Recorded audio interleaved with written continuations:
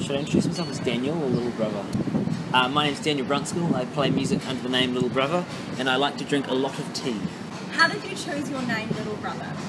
I have. I'm, I'm the youngest of, of three brothers. I have three older brothers who inspired me to play music. One of them especially taught me to play guitar and sort of helped me learn to write songs and stuff. So the name is almost a tribute to those three brothers for a thank you. So did you know about the other band called Little Brother? The uh, the rap group. Yeah, there's there's a rap group from like the 90s called Little Brother, but they haven't released anything since 2007.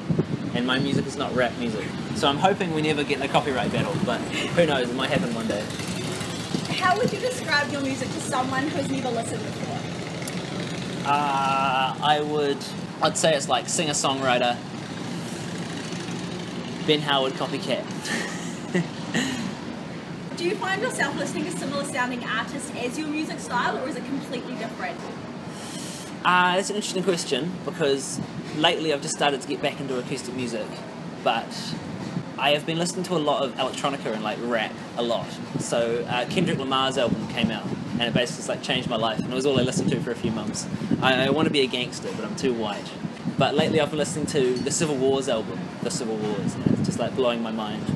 So it's like inspiring me songwriting wise again, which is quite exciting. yeah. Who inspired your passion for music, or what, from the very beginning? So is that your brother, or Yeah, well, my brother used to play guitar, so I'd sit outside his bedroom with my like quarter-sized guitar and strum away. I didn't know any chords; I just strum open and pretend I was playing what I was hearing through the door. And that was like my first musical experience.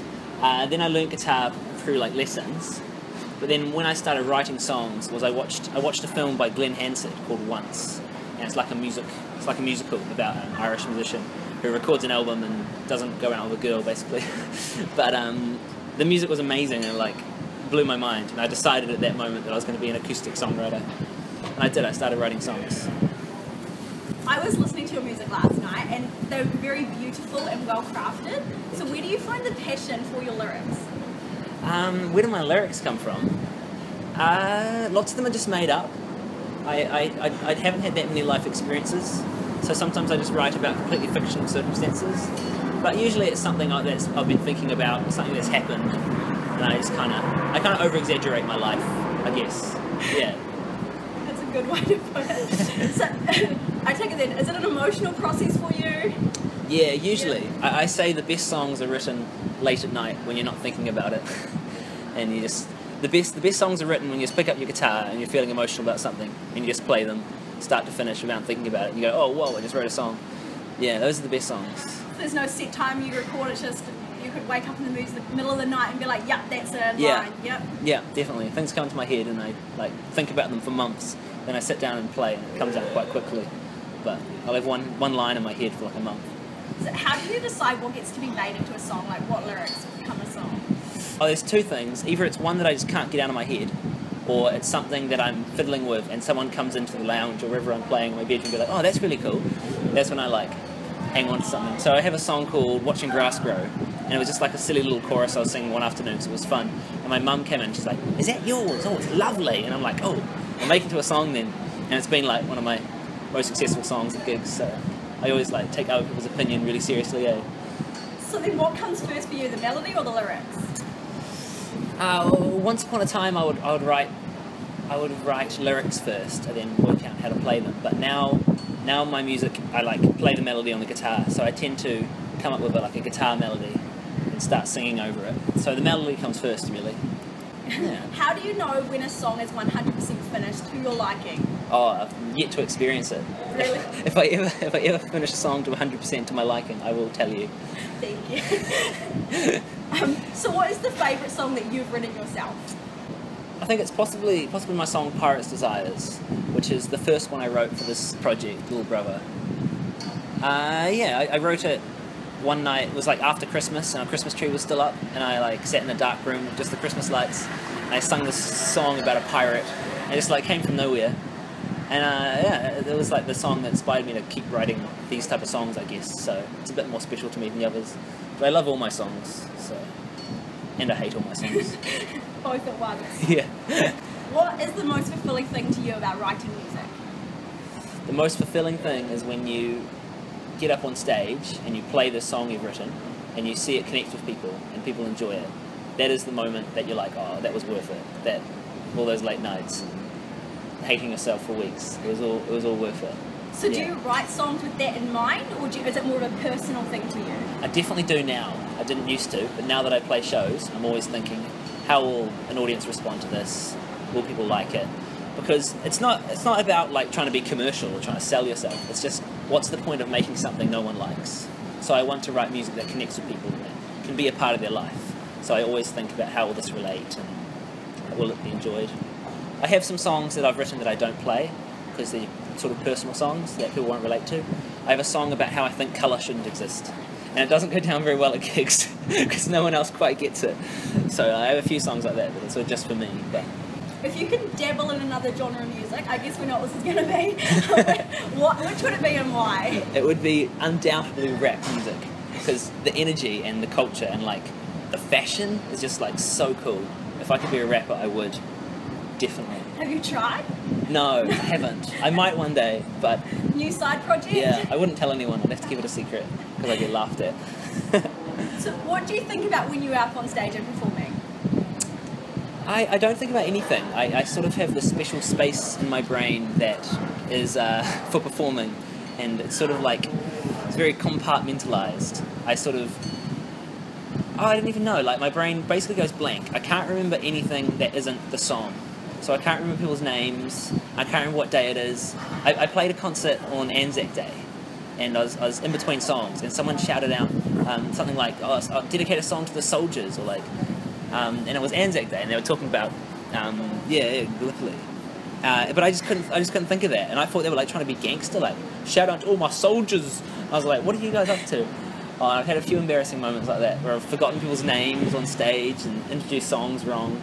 So I don't really like my brain just goes and my fingers and voice just do their own thing, and then it like switches back on at the end of the show. So this is just a little fun. What was the first album you ever bought and do you still listen to it? first album I bought. I can't remember what was the first album I brought. Or Like with my own money. ones? One of the first albums I, I got was actually given to my brother, and it was a Counting Crows album called Hard Candy. And um, I used to I used to put it on, and I'd like open the lyric booklet back before we had digital music, the good old days.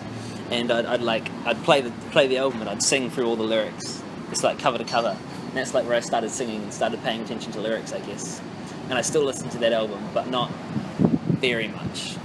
Um, yeah, yeah. I often, I often like go back to those albums I listened to when I was young, but it's like a nostalgic thing. My music tastes have changed quite a lot. Yeah. So what is the best advice you've ever been given? Um, I'm sure I can think of something.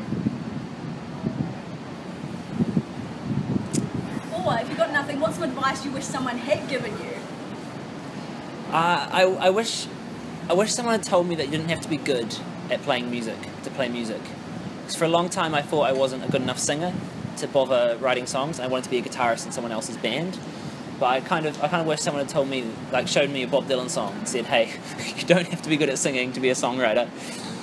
Uh, yeah, so I don't class myself as a good singer, and it held me back for a long time. Yeah, now I don't care about my terrible voice. So what song is stuck in your head right now? Won't you stay with me? That one, uh, Sam Sam Smith, Smith. yeah. Yeah. but only because my flatmate was annoyingly singing it all morning. I, uh, I hate having songs stuck in my head. So is there anyone you've dreamed of collaborating with? Who would I love to collaborate with? There's a music producer called Brian Eno, who uh, is he like he brings out the best in musicians. And I'd love him to produce an album for me. That would be like my dream. But that's not a very interesting answer to a question. So, That's alright, you so I will say I will say Taylor Swift because I listened to her album 15. It's called 15? Fearless, Fearless, and I was like, I didn't understand why people like Taylor Swift. Why is she so popular? And I listened to her album just for a laugh, really. And I just like I just loved it. I felt like I felt like I was a 15 year old girl, and I, I, I yeah I don't know. I kind of admire her now as a songwriter, and I'd like to I'd like to work with her and like create some like really good non poppy songs, but that'll never happen. You never know. so Text me, Taylor. have you always aspired to being a singer-songwriter or have you ever like contemplated going other ways? I wanted to be a rock star. That's why I learned guitar. I wanted to be in U2. I wanted to be the edge until I realised he was old and bald. Um, uh, yeah, yeah, I wanted to be a rock star. I wanted to be a electric guitarist and play guitar solos and stuff, which is quite different from being a singer-songwriter. But I did always want to play music ever since I was young. So, where do you see Little Brother in five years? It's a difficult question. Probably in a very similar place, playing small gigs to small people in small bars. I, I'd love, I'd love, I'd love it to get a bit bigger. So, are you working on any albums or anything right now that you'd like to talk about? I, uh, I have developed in the last sort of year. I have developed a weird phobia of recording, uh, and it's terrible. It's a disaster, and I'm like, I'm like working through it. But I, um, I'm loving playing live. I'm hating recording. Every time I record, I just like totally lose faith in all of my songs, and I like hate my voice, and I hate my guitar playing, and um, so that's kind of like something I've been working through. as, a work in progress. There are there are plans to record, but it's like it's like an emotional boundary for me to get over. So we'll see how that goes.